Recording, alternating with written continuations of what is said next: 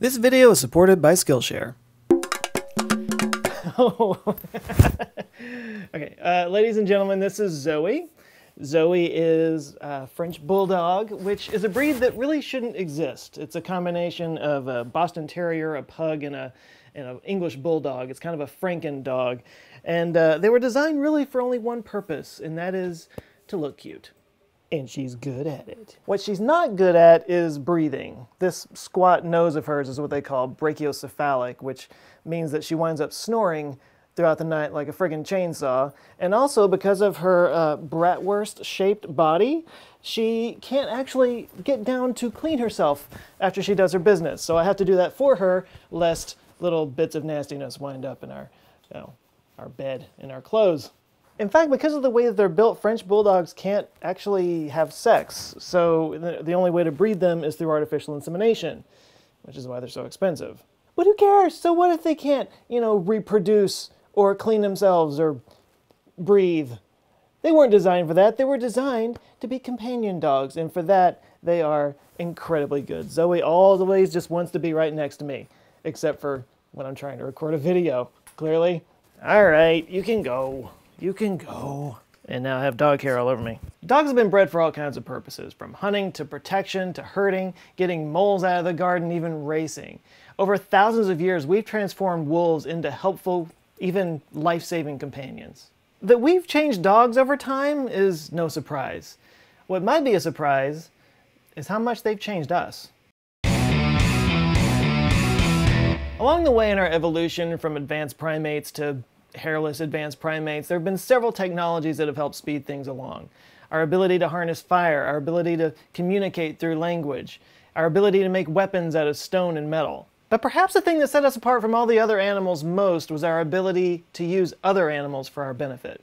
Human beings are only so strong, we're only so fast, we can only perceive so much through our senses, so there's only so much that we can achieve. But we eventually realized that if we harness the abilities of other animals, we could achieve so much more.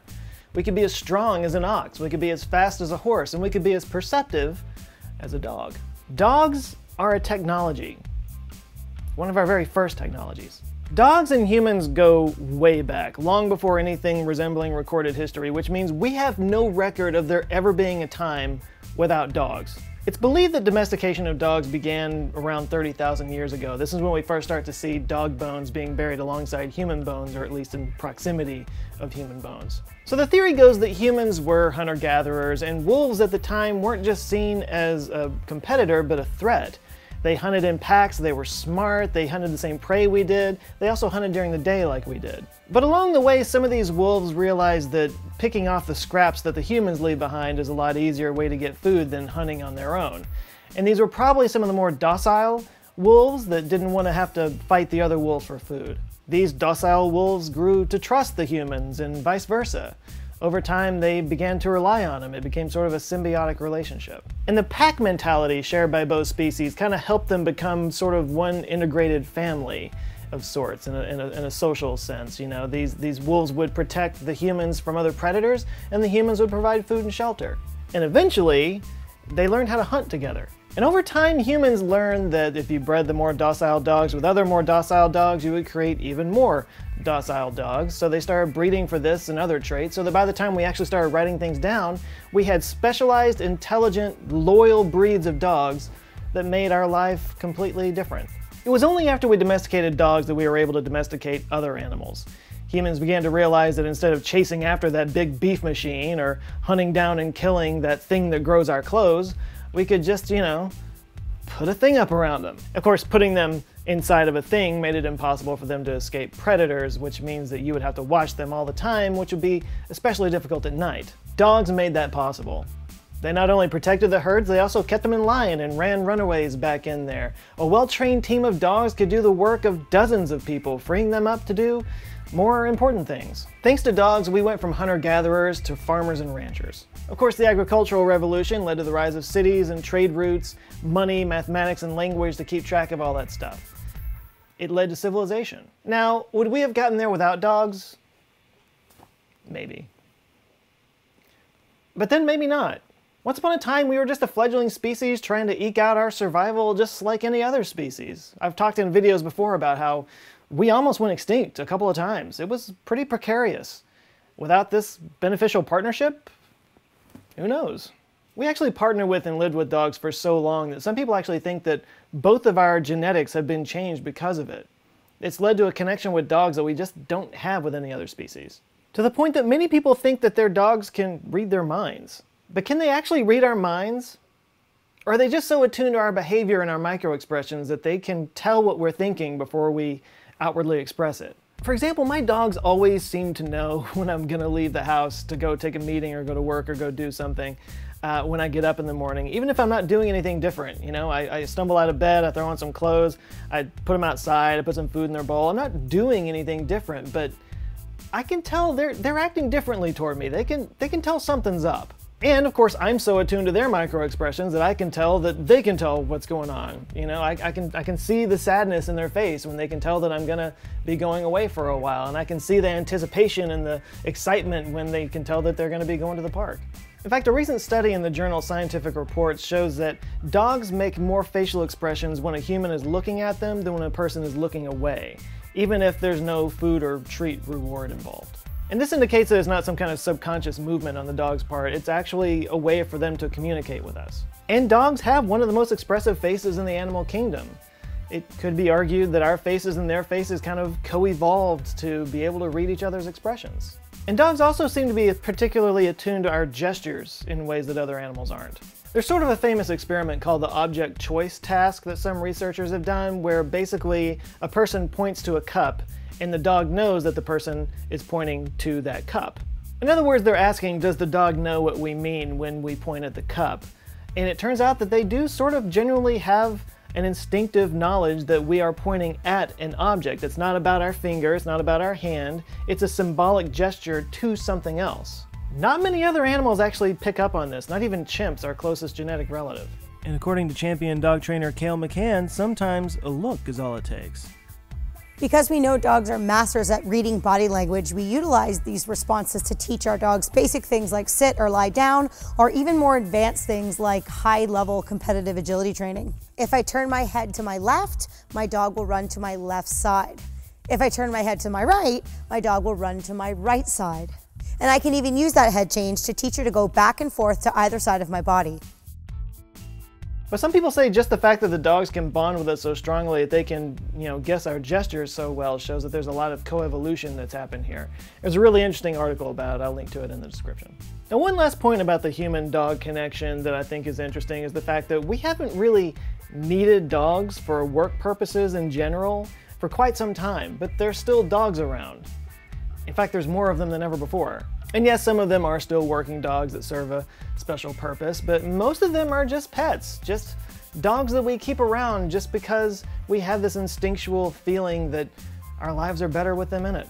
And maybe part of this reason is oxytocin.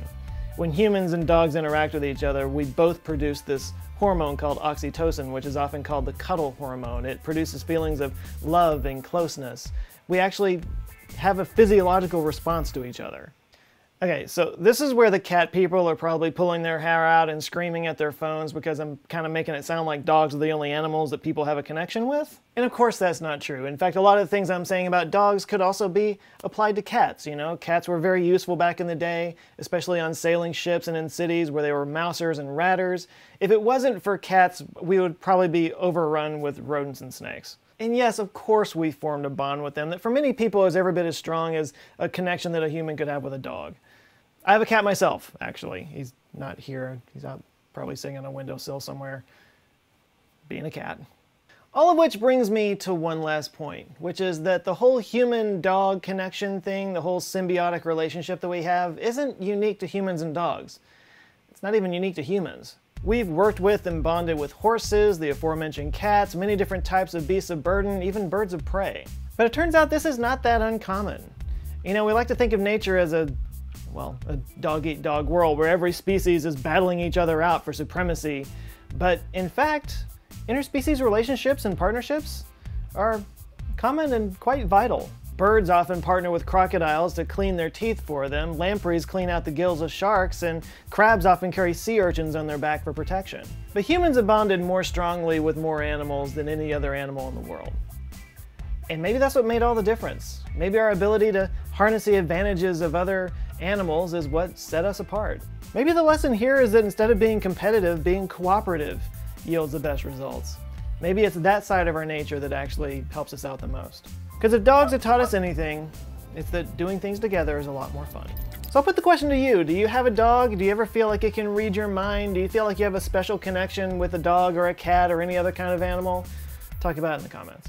And of course, if you do have a dog, one of the best things you can do is spend time training with them. It not only builds a bond between you and the dog, it also encourages good behavior, and it's just it's just fun for the dog. So if you're interested in learning more about that, you might want to check out the Canine Masterclass course from Tatiana Ambros on Skillshare. In this class, she teaches several training techniques designed not just to get your dog doing tricks, but to build a bond with your dog. This is especially good if you have a new pup in the home, but it's also a fun thing to do with a dog you've had for a while. A little extra attention goes a long way. This, of course, is just one of thousands of different courses you can take on Skillshare. Skillshare is an online learning platform where experts share their knowledge in everything from accounting to photography to cooking, software development, dogs, you name it. And the first 500 people who sign up from watching this video will get the first two months totally for free. Just use the link in the description below. So try it out. You got nothing to lose and you might learn a new skill that changes your life. Visit the link in the description down below and try out Skillshare today. I want to thank Ken and Kayl from McCann Dogs for chiming in on this subject today. They're good friends of mine and they're excellent world champion dog trainers. You can check out their channel uh, in the description down below too. And as always, a huge thanks to the Answer Files on Patreon who are keeping the lights on around here, supporting this channel, helping it grow. You guys are awesome. There's some new people that have joined the tribe. I want to call out their names and murder them real quick. We got Yves LF Girard, uh, John Boren, Pender Industries, Brad Mobley, James Aspenwald, Kevin Reed, Hayden Beck, Roy Varley, Brian Skeen, Joan Kudrat Martin, TJ, Richard, Eric Matheson, uh, or Matthiasen, Pet, Peter uh, Dale Horn, Romeo Joy, uh, Jan Jameson, John Jameson, and Christopher Clark. Okay, got through it. Uh, thank you guys so much. If you would like to join them and get early access to videos, behind the scenes stuff, and just access to me and our Discord server, it's all a lot of fun, you can go to patreon.com slash answerswithjoe. Right, please like and share this video if you liked it, and if this is your first time here, Google thinks you'll like this video. Don't let Google down. Take a look, see if you like it yourself. And if you do, and you check out some of my other videos and you like them, I encourage you to subscribe. I do put out videos every Monday and every Thursday. Also, t-shirts available at the store, answerswithjoe.com slash shirts. The ones that you buy there are not covered with dog hair. That's always a plus. All right, thanks again for watching. You guys go out now, have an eye-opening week, and I'll see you on Monday. Love you guys. Take care.